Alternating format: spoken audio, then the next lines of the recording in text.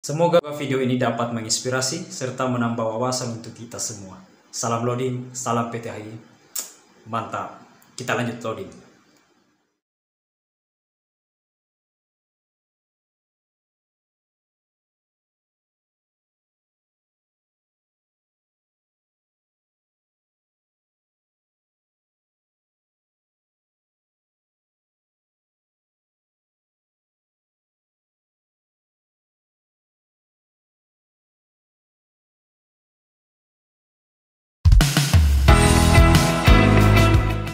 Assalamualaikum warahmatullahi wabarakatuh.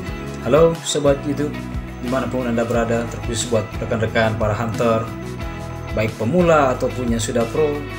Dan tak lupa pula buat para master para suhu Salam hormat dari kami komunitas PT HI Terkhusus saya secara pribadi mewakili Semoga semuanya selalu dalam keadaan sehat walafiat Dan tentunya selalu dalam lindungan yang Maha Kuasa. Amin.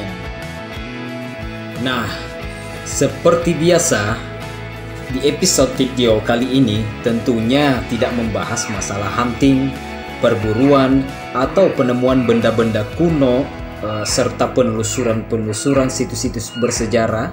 Tetapi di video kali ini tujuannya adalah untuk berbagi, menambah wawasan ataupun pengetahuan uh, untuk kita semua dalam hal pengembangan metal detektor. Dengan harapan dapat menginspirasi rekan-rekan pemula yang memang ada niat untuk membuat alat seperti ini. Yuk kita simak.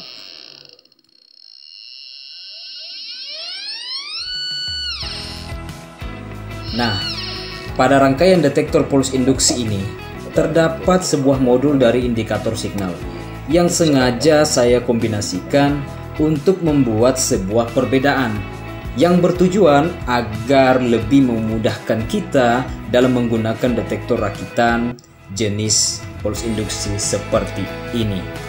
Ya tentu berbeda dari yang kebanyakan rakitan-rakitannya.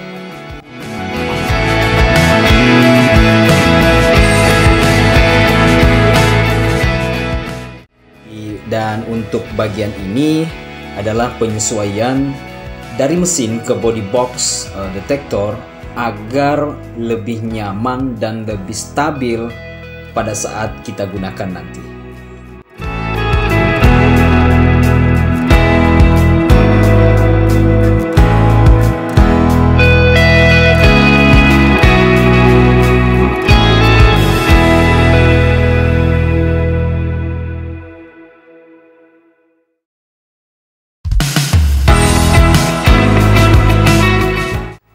Dan di bagian ini adalah rancangan sementara yang sudah terpasang dengan utuh sebelum final 100% untuk rancangan body metal detektor rakitan sederhana ini.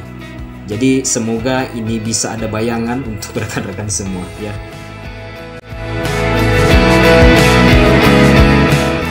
Dan ini adalah detektor yang jenisnya sama, hanya saja dari segi tampilannya yang cukup sederhana. Jadi dari aksesoris tambahan untuk detektor ini itu tidak dilengkapi.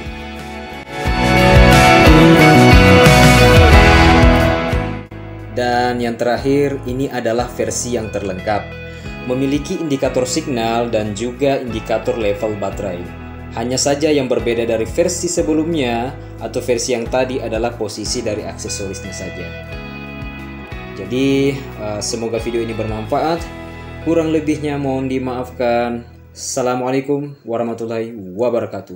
Salam loading.